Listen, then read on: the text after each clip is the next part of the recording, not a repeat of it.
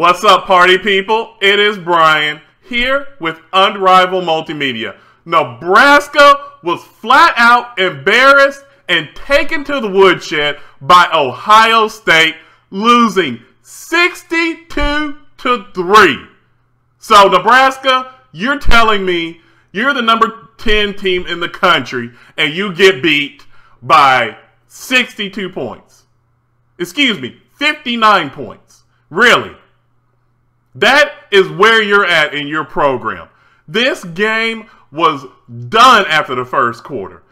You had Ohio State racking up yards at a ridiculous amount. JT Barrett could make a sandwich back there the amount of time he had to throw the ball. He ended up with four touchdown passes. Curtis Samuel, the wide receiver for Ohio State, had two of those touchdown passes. They could do whatever they wanted up and down the field. At the end of the third quarter, they had a pick six that really just added embarrassment on top of embarrassment for the Cornhuskers.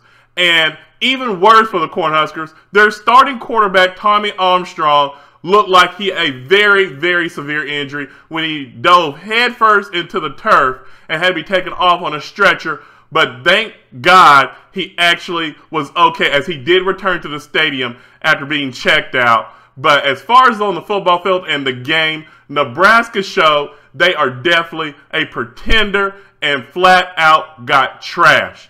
On the other side, Ohio State is now back in the college football playoff picture with Texas A&M losing. That is the type of game that Ohio State needed to show that they are a big time program as far as this year and team contending for the national championship. So I want to hear from all your Ohio State fans. Do you think your team is back in the college football playoff picture? And Nebraska fans, I want to hear how frustrated and flat out embarrassed you are by that performance.